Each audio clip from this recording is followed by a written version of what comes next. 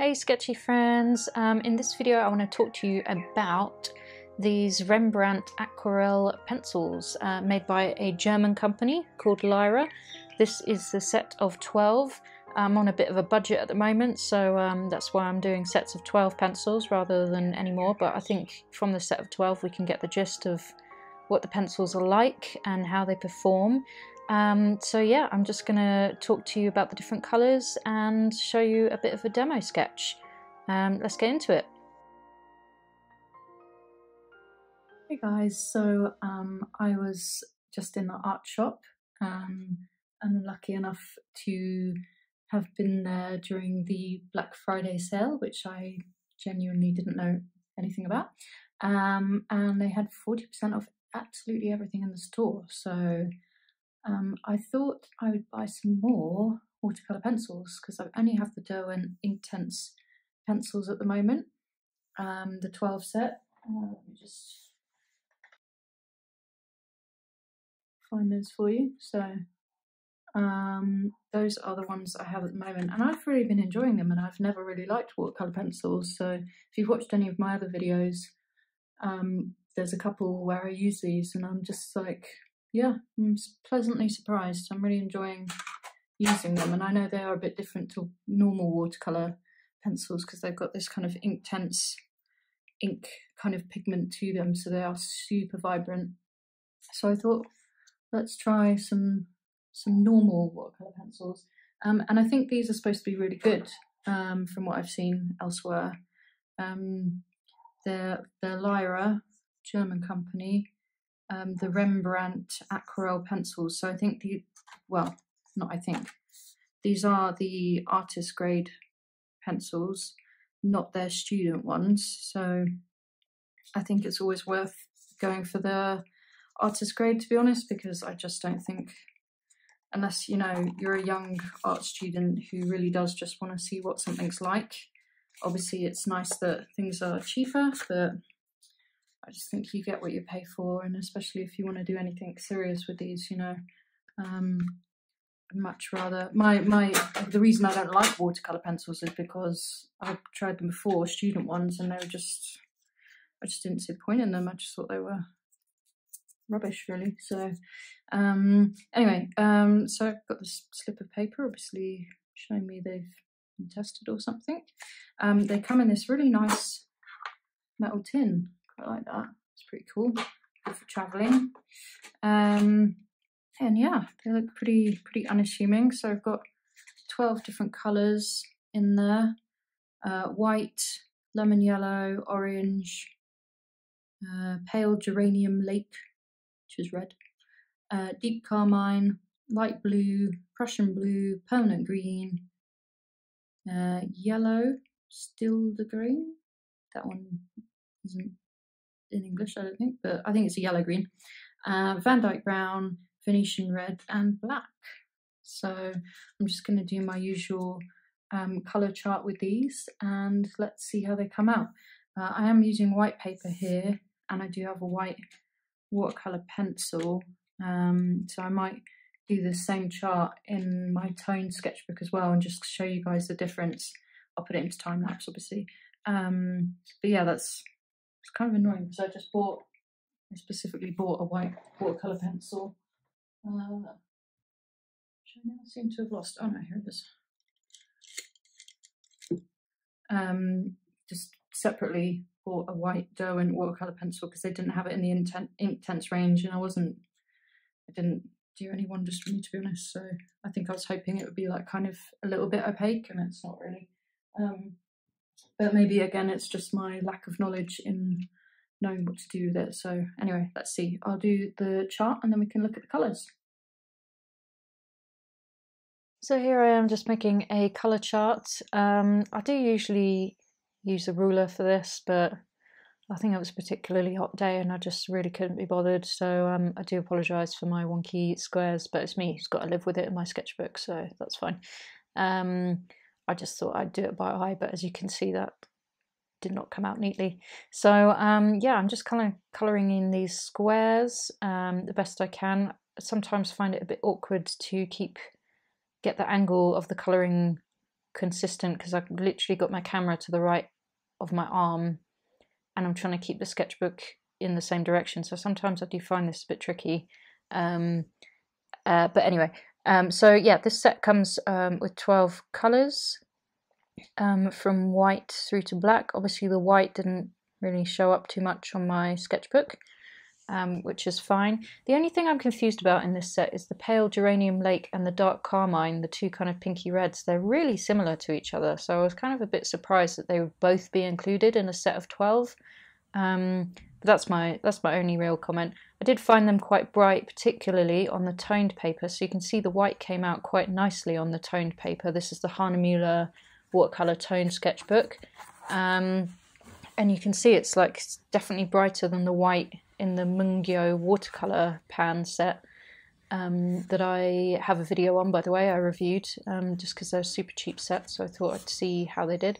And then this is the white that I bought separately from the just straight up Derwent watercolor pencils the other day because I wanted a white to try out on the sketchbook. Um, and I think the Lyra white is so much better than either of those options, so I'm quite happy with that.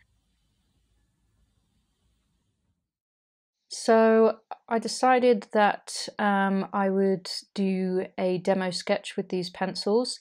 Um, it's another doorway, so if you watch my other uh, video about watercolour pencils in general, I actually used the Derwent Inktense, and at that stage I didn't really grasp the concept that the Inktense pencils are not your traditional watercolour pencils, really. I knew they were just vibrant, but I think they've actually got like a different kind of pigment in them. Anyway, I did a I did a demo sketch there of a doorway, and kind of unintentionally, I am again doing a doorway with these watercolor pencils. So I guess that's just a running theme now. So anytime I review watercolor pencils, that's what I'm going to do now.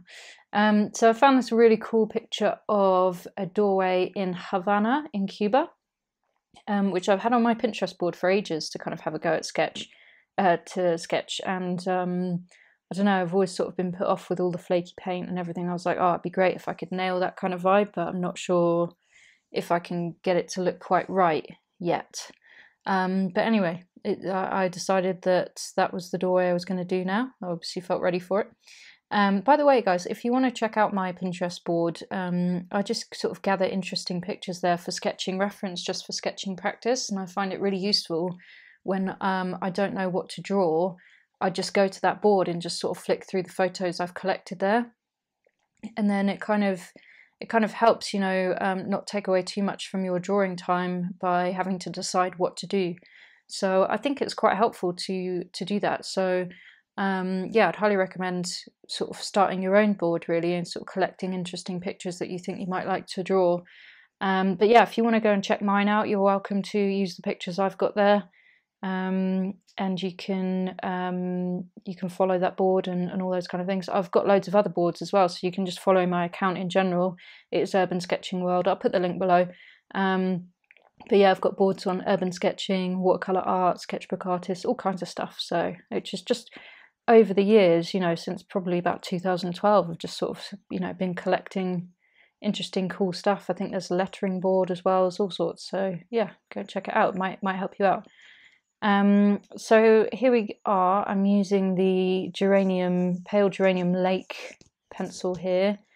Um, I always find it's a bit of a learning curve picking up watercolor pencils for the first time again because it's been a little while and also I've been using the Derwent Inktense which again are a tiny bit different um, but yeah I'm sort of getting to grips with them again you can see the vibrancy of these just standard watercolor pencils is still really nice um, and they're they're rated as as high kind of light fastness. So you know they are professional grade um, watercolor pencils.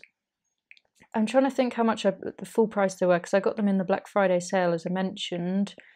Um, I think they're about fifteen pounds, so I guess that's like eighteen dollars, twenty US dollars, something like that. So that's a pretty good price. Um, and then I was sort of, you know, playing around with them, layering them over one another, just sort of seeing how it goes. Um, the sketchbook I'm using here is the Hahnemühle, just standard watercolor sketchbook. Um, and yeah, I felt like things didn't get too muddy when I was laying country, um, countries. Where did that come from? Colors uh, over the top of one another. And then here I'm trying out another technique that you can do with watercolor pencils, which is to take the pigment directly from the pencil with the brush. Um, and this means you don't sort of get the pencil strokes or anything, and you can actually just get like a nice lay down of like watercolor pigment. Um, so I, I, found that quite nice actually, and I felt the color still came out really nice and vibrantly, um, which was really cool. Um, but I also, you know, in places, especially when you're like doing doors or um, kind of walls and stuff like that, like I quite like the pencil strokes showing through, but obviously that's not um, super great for every part of your sketch, especially if you want something quite smooth. Um, so yeah, I'm just kind of playing around, just trying to like layer them together and um, you know just sort of see how they react. I'm been quite enjoying them so far.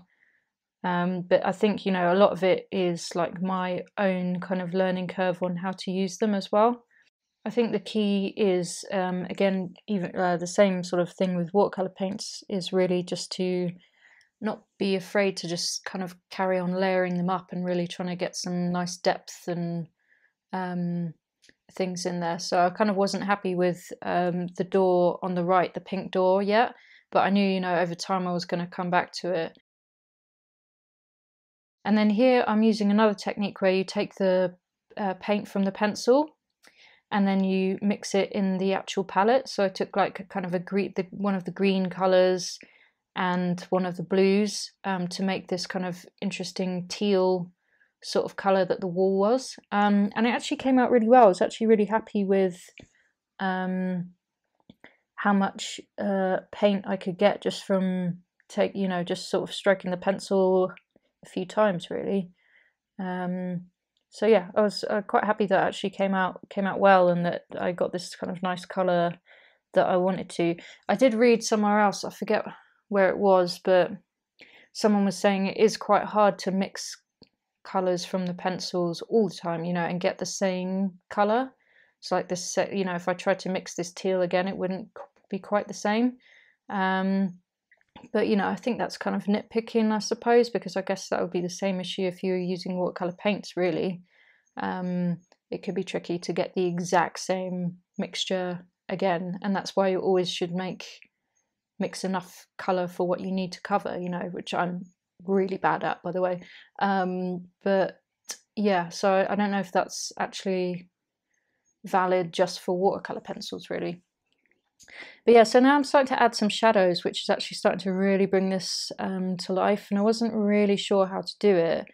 Um, so I was actually taking some um, black from the black pencil, which I know is generally a big no-no in watercolors, but I was like, I don't know if I can get that sort of deep shade pigment or color that I need from like any of the other pencils I had. You know, I was just literally using these 12 pencils. So I did go in with black. I'm going to hold my hands up, guys, and uh, that definitely happened. So, um, you know, uh, I'm not a traditional watercolor painter, so I also feel like you can do what you want in art. So screw the rules, it's all good.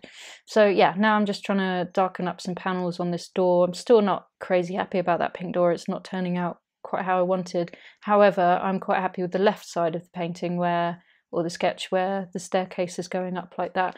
And then also having a go at just kind of making these door frames look a bit deteriorated and a bit well worn and stuff. And I was actually really happy with how that came out. I was just kind of scribbling like areas of black and brown and whatnot and kind of just trying to blend them together and make it look old, you know, and deteriorated. And I was quite happy. Um, for some reason, I felt like I wanted to splash a bit of white gouache on here. Um, I don't know why, but I usually just follow my gut and just go with these things. And actually, in the finished product, it didn't really um, come out so much anyway, but it just adds a bit of interest, a bit of texture, I suppose. Um, so that was my one cheat. I was allowed white gouache. I feel like I'm allowed to use white gouache in whatever I do, so that's fine. Um, I'm a bit addicted to white gouache, so I do have a bit of a problem. So uh, yeah, but that's fine.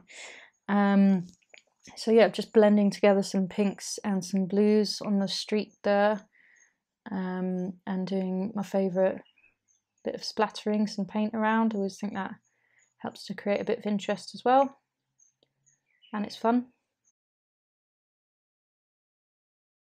And then yeah, just trying to get a bit of a wood, a bit more of a wood grain effect in the in the doors, um, in the door on the right, which is the upshot of pencils. You know, being able to get those kind of textures.